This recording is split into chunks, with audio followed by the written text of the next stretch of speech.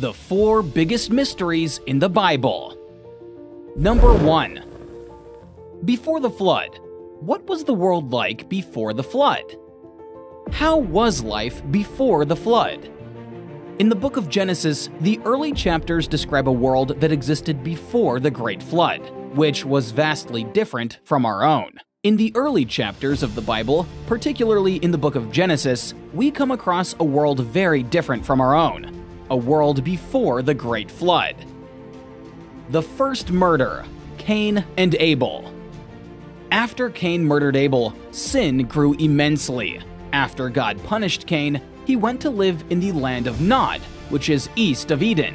In the land of Nod, Cain constructed a city named after his son Enoch. Enoch's descendants included notable figures of their time, Unfortunately, Cain's murderous ways were passed down through his family line. We find a man bragging about his violence when we get to his great great great grandson.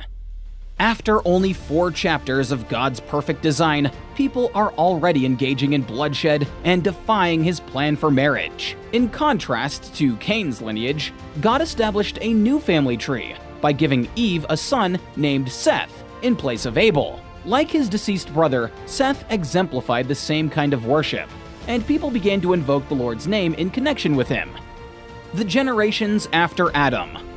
The world became populated, but it also became filled with sin. People were not kind to each other. They lied, stole, and even killed. During that time, people lived exceptionally long lives, often surpassing a century, it was a different era when humanity was more closely connected to its origins and the world was younger. As Adam and Eve's children grew up, they took wives and started their own families. Over time, the population started increasing steadily. Seth, one of Adam's sons, also had descendants like Enoch, Methuselah, and eventually Noah. This line of people was notable. They carried the seed of humanity's first union with fallen angels. But despite their long lives and profound wisdom, these early people were not immune to the problems that often plague humanity issues like jealousy, anger, and sometimes even violence. Genesis chapter 5 gives us the first impression of Enoch. There is a first Enoch that was the son of Cain. This is a different Enoch. Enoch's case was the first rapture recorded, as God simply took him. Before the first flood, the world experienced the first rapture. Musicians also made their appearance. Jubal, another descendant of Cain, was the father of all those who play the harp and flute. Genesis 4:21. These roles allowed society to become more complex and organized, setting the stage for more advanced forms of civilization. In a nutshell, before the flood, humanity expanded and diversified. Families turned into tribes, roles turned into professions, and civilization took its first steps. Invasion of the Nephilim As the self-appointed commander of the Kingdom of Darkness, Satan summoned his evil legions to infiltrate humanity, to pollute the Adamic line leading to the Messiah. Genesis chapter 6, verses 1 and 2. When human beings began to increase in number on the earth, and daughters were born to them, the sons of God saw that the daughters of humans were beautiful, and they married any of them they chose. These fallen angels descended on earth and gave birth to the Nephilim, or giants. The Hebrew word for Nephilim translates as fallen. This satanic invasion of Genesis 6 corrupted the entire world. The sons of God saw the daughters of men. It is more accurate to see the sons of God as either demons, angels in rebellion against God, or uniquely demon possessed men, and the daughters of men as human women. The wickedness of mankind. In the early chapters of Genesis, specifically in Genesis chapter 6, verses 1 through 5, the Bible paints a picture of the world before the flood. The earth was not a place of peace or kindness, but one filled with sin, violence, and moral corruption. Imagine a world where people are consumed by their desires, always seeking to do whatever they want, regardless of the cost to others. Honesty, integrity, and kindness are not celebrated or even understood virtues. Instead, deceit and manipulation rule the day. Everyone is out for themselves. and the very fabric of society is torn apart by selfishness and wickedness. In such an environment, families are not sanctuaries of love and support, but battlefields of deceit and betrayal. Neighbors don't look out for each other, they look to exploit one another. Governments are not institutions of justice, but rather systems of oppression, upholding the rule of the powerful over the weak. Now, insert into this chaotic world an unusual development the Nephilim. The Nephilim were unique and different from regular people. They were strong and larger than life, but they made the world's problems even worse. They were admired, feared, and perhaps even worshipped, pulling people further away from the true God who had created them. Their might made them objects of fascination, but they were a part of a world spiraling further into chaos and sin. It was in this context that God saw the wickedness of mankind. Spiritual and moral decline. Humanity, the crown jewel of creation, had lost its way. Rather than living in harmony with each other and the world, people were consumed by violence, wickedness, and deceit.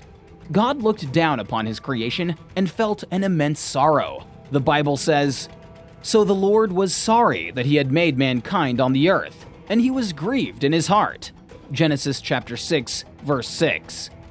It was a divine grief, a deep sorrow that transcended human understanding. Imagine a parent, heartbroken over the actions of a wayward child, yet infinitely magnified. And so, in his great pain, God made a difficult decision. God was upset by the actions of the people he made and was left with no other option to heal a world spiraling into chaos. So, to know the world before the flood is to know the world during Noah's time. What was the time of Noah like? Luke chapter 17, verses 26 through 30. And as it was in the days of Noah, so it will be also in the days of the Son of Man. They ate, they drank, they married wives, they were given in marriage, until the day that Noah entered the ark, and the flood came and destroyed them all. Likewise, as it was also in the days of Lot, they ate, they drank, they bought, they sold, they planted, they built. But on the day that Lot went out of Sodom, it rained fire and brimstone from heaven and destroyed them all. Even so will it be in the day when the Son of Man is revealed. Jesus used this time to explain that the world was carrying on with their daily activities, like eating, drinking, and getting married. Everyone just carried on with their life. Conditions before the flood and before the judgment of Sodom and Gomorrah were terrible, but the wickedness was accepted as usual and routine. There is nothing intrinsically sinful about any of those activities. So, what was the problem? The problem was they were so immersed in those activities, they did not recognize the days in which they were living. I would sum that problem up in one word materialism. They were so immersed in the material, they no longer had any understanding or alertness for the spiritual and the eternal. Number 2. The truth about Jacob's Ladder. Jesus explained the truth about Jacob's Ladder. The story of Jacob's Ladder has fascinated people for many years. The expression Jacob's Ladder has developed into a common phrase. It has been used as the title of a movie, a book, a flower, and even as the name of an electronic device. But where did this phrase come from in the first place? In Genesis 2, the phrase Jacob's Ladder is mentioned.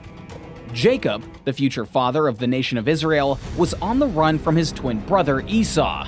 Jacob decided to camp out under the stars alone and on the run, with nothing but a rock for a cushion. At this point in Jacob's life, his heart is probably filled with regret for the past, loneliness in the present, and uncertainty about the future. But then, the story takes a momentous turn. Genesis chapter 28, verses 11 and 12 and he happened upon a particular place and spent the night there, because the sun had set. And he took one of the stones of the place and made it a support for his head, and lay down in that place. And he had a dream. And behold, a ladder was set up on the earth with its top reaching to heaven. And behold, the angels of God were ascending and descending on it. This is Jacob's first supernatural encounter with God, and it parallels Abraham's in Genesis 15. It's also worth noting that Jacob is nearly the same age as Abraham was when God told him to leave his home and travel to a new land. When Jacob awoke from his sleep, he knew exactly what had happened. He concluded, Surely the Lord is in this place, and I did not know it. In his encounter with Nathanael, the Lord Jesus made an apparent reference to this incident. John chapter 1, verses 49 through 51. Nathanael answered him, Rabbi, you are the Son of God. You are the King of Israel. Jesus answered him and said to him, Because I said to you that I saw you under the fig tree, do you believe? You will see greater things than these. And he said to him, Truly, truly, I say to you, you will see heaven opened and the angels of God ascending and descending on the Son of Man. The ladder illustrates the relationship between God and man. It shows that the God who created the universe wishes for a close relationship with his creation, particularly humanity, and that he is the one who initiates that connection, discussion, and friendship. As Jacob's ladder illustrated, the connection between God and men, Jesus Christ, is the spiritual connection, mediator, and ladder to bridge the gap created by sin between God and men. Jesus Christ would initiate a new spiritual covenant available to all. He would exchange our sins for his righteousness, allowing us to know God and enjoy the intimate relationship he intended from the start. Jesus was indeed the Son of God. Even the Roman soldier at the cross declared that. As Christians, we see this dream of Jacob as highly symbolic, representing the mediator, Jesus Christ, who came to earth and became that ladder or stairway for us to reconnect the relationship with God that was severed because of sin. Number 3. What are the three heavens? The three heavens. When the word heaven is used in the Bible without a symbolic connotation, it most commonly refers to one of three realms. As a consequence of this, we discover that the Bible talks about more than one heaven. The first heaven, the atmospheric heaven. The atmospheric heavens include the air that we breathe and the space that immediately surrounds the earth. The second heaven, the celestial heaven. When the term heaven is used, it refers to outer space, or what is commonly known as the stellar heaven. This encompasses the sun, the moon, and the stars. The third heaven, heaven as the home of God. According to scripture, there is a specific location known as heaven, where God is said to reside. Heaven is called the presence of God. What is your view of heaven? Do you believe that there's a location like this one? If this is the case, is it a place filled with ethereal light and song, where choirs worship God in a breathtakingly beautiful and intricately designed setting? Paul gives us a glimpse. Paul shares his visions and revelations of the Lord. 2 Corinthians chapter 12 verses 1 and 2. Boasting is necessary, though it is not beneficial. But I will go on to visions and revelations of the Lord. I know a man in Christ who, 14 years ago, whether in the body I do not know or out of the body I do not know, God knows. Such a man was caught up to the third heaven. Paul identifies this third heaven as paradise. The word paradise originates from the Persian word for an enclosed lavish garden, which was often exclusively found on the grounds of royal residences in the ancient world. Paul does not explain anything he saw when discussing this celestial vision, only a shadowy description of what he heard. The reason why Paul was granted this vision was twofold. Firstly, it was for our benefit as people, so that we could learn from the Lord's teachings revealed to Paul. Secondly, this vision gave Paul the strength to endure all the hardships in his ministry and empowered him to pass on God's message to future generations. This vision significantly helped Paul complete his mission. Passages such as this one give us the concept often associated with heaven purity or holiness. The words spoken in that place are so sacred that they cannot be repeated outside. Paradise is the ultimate destination of all sinners who have genuinely repented and persevered in the life of faith. Ezekiel documents a similar throne scene.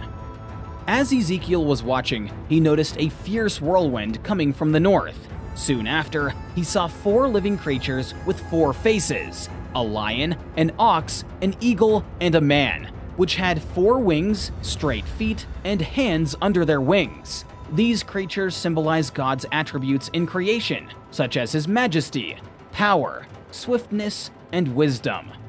If we compare what John saw in the book of Revelation with what Ezekiel saw, we can observe that Ezekiel provides a more detailed description of the four living creatures. Four remarkable beings were notable from within this whirlwind of God's presence. The cherubim are the angels of extraordinary might and glory who surround God, as Ezekiel revealed in Ezekiel chapter 10, verses 8 through 15. Number 4. Who are the 24 elders? In the throne room of God, there is a notable presence a circle of 24 elders, dressed in white robes and crowned with gold, sitting on thrones surrounding the main throne. It begs the question who are these figures and why are they there? Furthermore, what is the significance of the 24 elders? What is their role in judgment and redemption?